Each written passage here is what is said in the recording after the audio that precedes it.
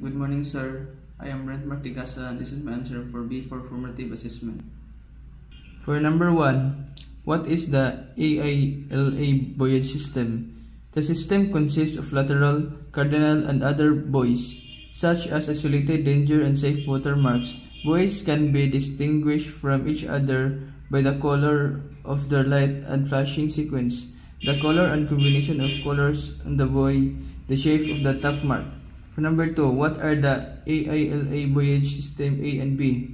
For the sake of maintaining uniformity in buoyage system and worldwide, IALA divided the world into two regions, Region A and B. Region A includes Europe, Australia, New Zealand, Africa, the Gulf, and some Asian countries, whereas Region B comprises of North, South, Central America, Japan, Korea, and the Philippines. Number 3. How many types of IALA buoyage system have? The IALA buoyage system provides uh, the, there are two major types of buoyage systems, the lateral system and the cardinal system. Number 4. What does IALA stand for?